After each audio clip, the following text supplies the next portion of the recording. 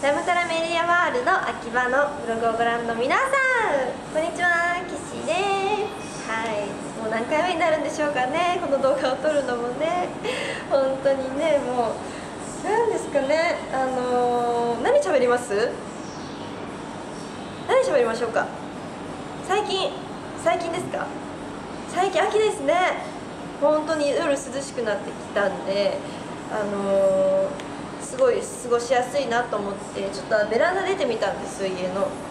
そしたらこんぐらいのセミが死んでてで次の日羽が半分ちぎれてて次の日いなくなってました。あの多分鳥がね持ってったんじゃないかなっていう秋ですね。